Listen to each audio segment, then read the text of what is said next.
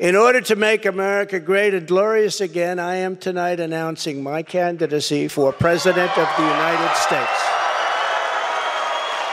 States.